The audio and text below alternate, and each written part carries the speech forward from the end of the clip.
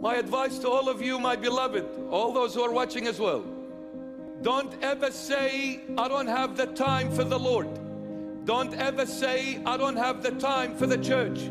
Don't ever say, I don't have the time for His Word. Don't ever say, I don't have the time to be with God and for God. Because you will never appreciate what God has given you until the time comes where it's taken away from you. You see, we can only appreciate things when we lose them. We take things so for granted. I'll give an example. You've got two legs, two feet.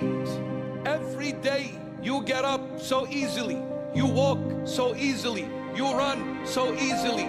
Have you ever thanked God for those two legs and those two feet? No. When will you beg God to give them back to you?